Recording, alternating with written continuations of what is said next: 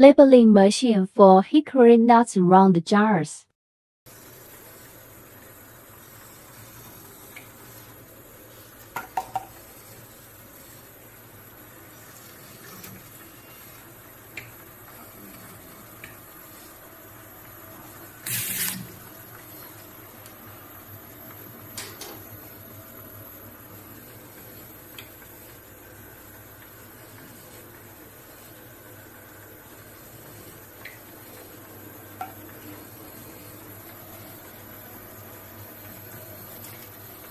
Huh?